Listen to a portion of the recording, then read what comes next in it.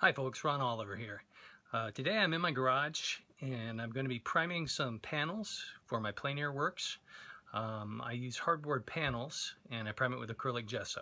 Now you can buy pre-primed panels at your art supply store or online, but they're a little bit pricey if you do buy them pre-primed. So um, I'm going to prime them today, take a little bit of video of it, and share my process with you, and uh, hopefully it'll be helpful for you. So let's get started. You can see I'm using uh, Blick Studio White Gesso. This is the most inexpensive uh, bucket of gesso that Blick sells and it's perfectly good quality for priming your panels. Um, you're going to put three coats on. You're going to get a nice good coverage and a really good surface when it's dried for your uh, top layers of paints, your colored paints, your oil paints to bond to. So you don't need to go buying expensive uh, gesso product if you're just priming your panels.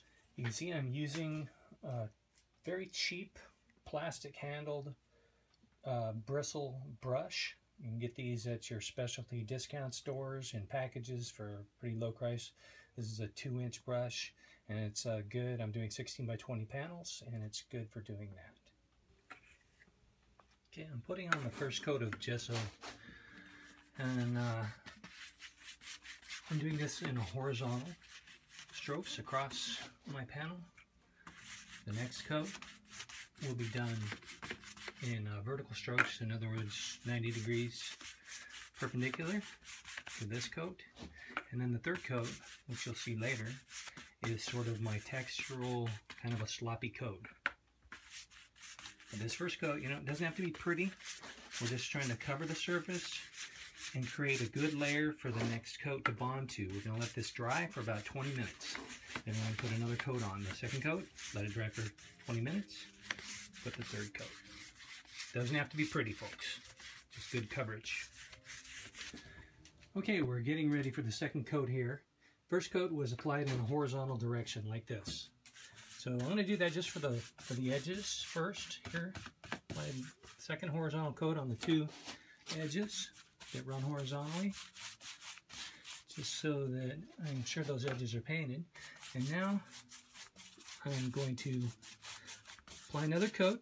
Once again, it doesn't have to be pretty, but we do want, I'm going back to the bucket frequently, um, we do want to get just the right amount of paint, not too thin, not too sloppy for this second coat.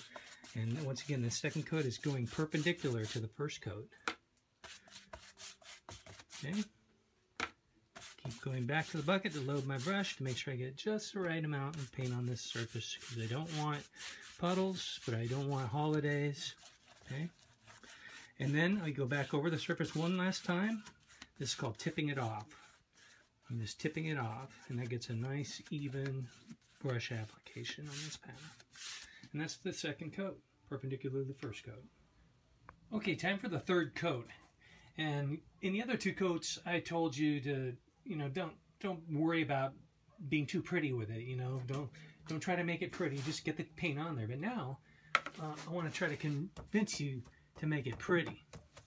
What we're going to do is we're going to put a thick coat. This is what I call the sloppy coat on here. And I'm leaving the brush strokes. I'm putting this paint on pretty thick. Because what it does is it leaves sort of a really nice, chaotic kind of texture. And nature has chaos in it. And when you're plein air painting, uh, I like to capture that, that chaos. And so if I have this surface on my my ground here that that provides that sort of chaotic flow, I, I get these little serendipities in the work that are just, I think it's just fantastic. So put it on like this, you know, just lay it down thick. I'm, I'm sort of using the side of the brush, I'm slapping this paint on. And the end result of this is sort of a textured surface.